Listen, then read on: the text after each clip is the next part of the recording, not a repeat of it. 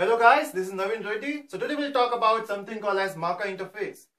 Now, to, to focus on marker interface, you should know what is interface, okay? To know what is interface, we should know what is class. So we have a class. Class means it's just a blueprint to create objects, right? So in class, we have methods, we have variables, right? Now we can define those methods in class. So we have to define it. We have to give those curly bracket open, curly bracket closed, right? Now what is the interface is, it's same like class. It's same like class, but you have to go for declarations. So you cannot define your methods in interface. You can only declare those methods, right? So what we have is in interface, we'll be having a methods which are only declared. So in class, we have something, right? We have definitions of methods.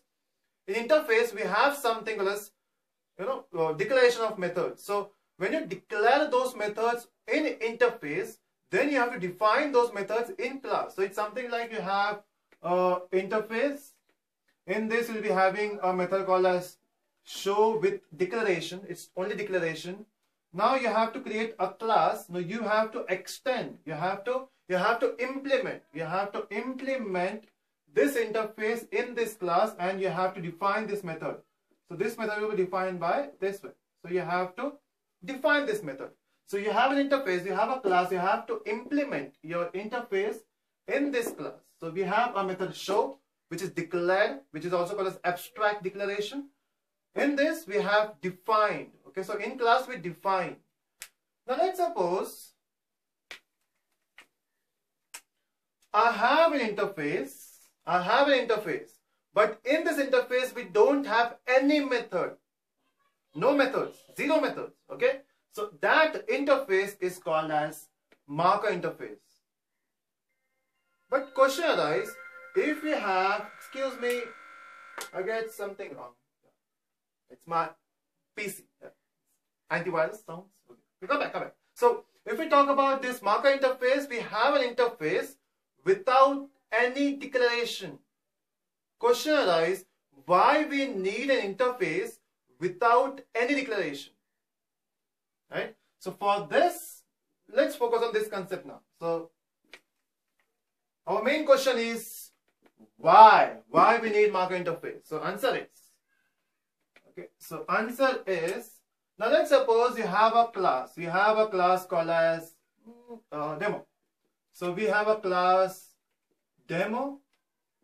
Okay. Now in this class, in this class, I have a method called as show. Clear? And it's void show. Simple. Now void show, I want to just print here. It's hello. So I want to print it's system.out.println hello. So what I have is I have a class demo. In this class I have a method show. Now to call this method, to call this method, I have we require a main function, right? So I have another class in which I have I have creating a main function. So it's psvm public static void main. Uh, it will be string a again main method required some parameters. Now in this, in this, if I want to call this method, I need to create object. Oh, what I'm done. Yeah, we have to create object of demo. So it's demo obj equal to new demo. Okay, so it's new demo now. Okay, so we have an object called as obj. Now what I need is, I don't want everyone, yeah, uh, I don't want to print this hello. I need some permission. So if you have a permission, you can print hello. Now question is how to assign a permission, right? I have to assign those permissions to this class. Okay, I have to assign the permission to this class so that I, I can print hello. Now for that, I need to create an interface. I need to create an interface like interface P and this P is normally permissions you can say. So interface P, I can you, you can use any name here. And in this, I'm not going for any declaration. It's blank. Okay, so we have interface P with blank declaration. So no declarations.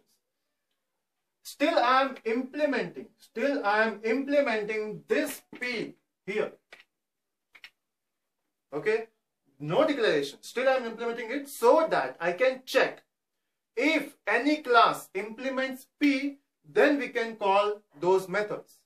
So to check, to check, to check this, we have to use a keyword called as instance of. So using this keyword called as instance of. Now, instance of what? P.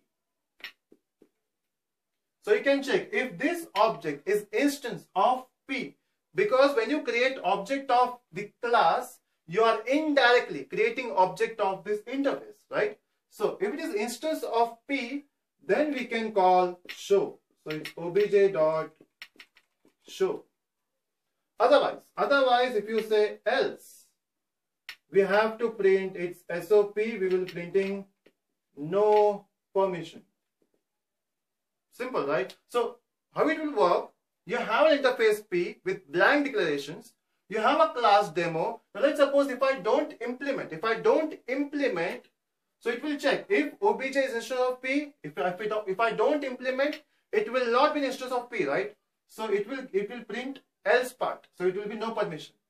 But if I'm going for implements P, it means, it means I have implemented this P, so I'm checking. So obj is instance of P? Yes.